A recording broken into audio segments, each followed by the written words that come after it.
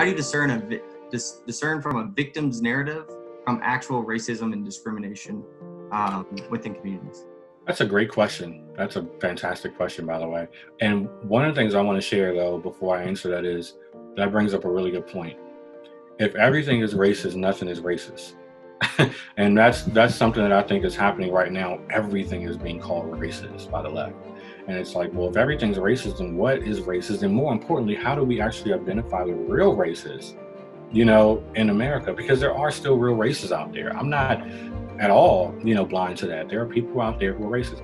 But I will say this I do believe racism can exist on all sides, every culture, black, white, everybody. It's not just one culture.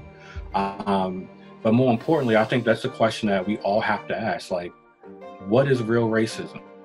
You know, how can we define that? To me, real racism is still when somebody continues to say, if they're saying derogatory remarks and downing you and treating you as if you're less than because of your race, that's real racism. You know, but challenging someone, challenging a black person to get a, a, a driver's license or an ID card to vote, it's not racism. you know, that's not racism. That's you basically saying that you think I'm too dumb to be able to get an ID. Like the Democrats are fighting against that, calling it racism. So you think I'm stupid? Like I don't have the ability to walk into a DMV and get an ID? Like we need to look at it from that standpoint, really. Like who's the real racist? you know?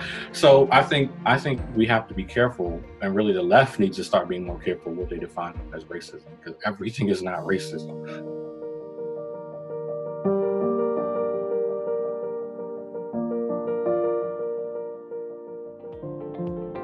Thanks so much for watching this video. To watch our latest video, click here. And to make sure you don't miss any future videos, be sure to subscribe.